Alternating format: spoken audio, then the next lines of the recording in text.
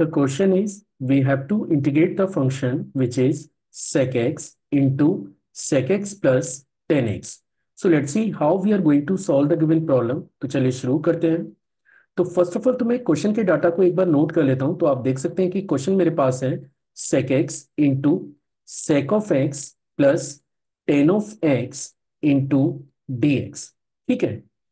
अगले स्टेप में what we are going to do ये जो x आपको नज़र आ रहा है, आप इसे ब्रैकेट में मल्टीप्लाई कर दीजिए। तो फ़र्स्ट टर्म आपको मिलेगा sec स्क्वायर एक्स इसको आप sec स्क्वायर एक्स लिख सकते हैं, और सेकेंड टर्म को आप लिख सकते हैं sec x